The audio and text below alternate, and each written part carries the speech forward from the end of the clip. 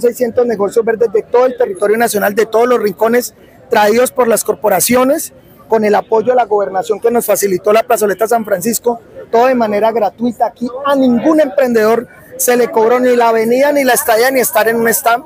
Es totalmente gratuito porque sabemos que estos negocios verdes son de emprendedores, de madres cabezas de hogar, de comunidades negras, comunidades indígenas, de gente muy humilde que con mucho esfuerzo protege los recursos naturales, pero al mismo tiempo produce. Pero no solo en los negocios verdes, vamos a tener cocina tradicional de todo el Pacífico, de toda la Amazonía, del Caribe, de todos los rincones del país. Moda sostenible, eventos académicos, eventos culturales. Esto aquí va a ser una fiesta totalmente gratis, no necesita nada sino venir y disfrutar con toda su familia. Esta es la verdadera COP de la gente.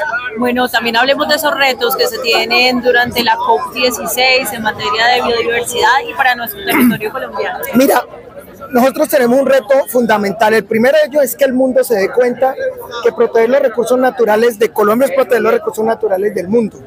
No por nada tenemos el 10% de la diversidad del planeta, no por nada tenemos el 50% de los páramos por poner un pequeño ejemplo de todo lo que tenemos.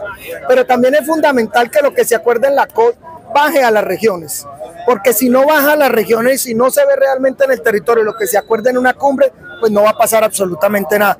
Yo creo que esos dos ejercicios son fundamentales y es lo principal que tenemos que dejar ahora, que está en la COP en nuestro territorio y más aún que la Secretaría Técnica queda en manos de Colombia.